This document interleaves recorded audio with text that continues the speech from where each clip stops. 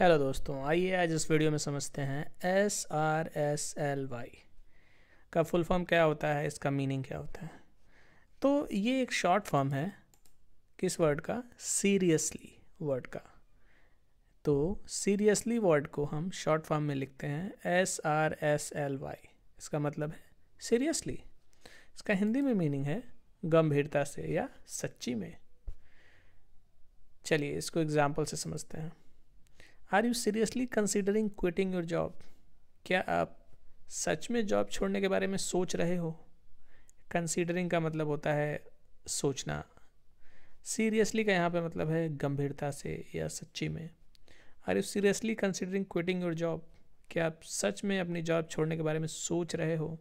यहाँ पे सीरियसली का मतलब है कि क्या आप मज़ाक तो नहीं कर रहे हो? आप सीरियस हो इस चीज़ को लेके? मतलब आप सच में ये करने वाले हो?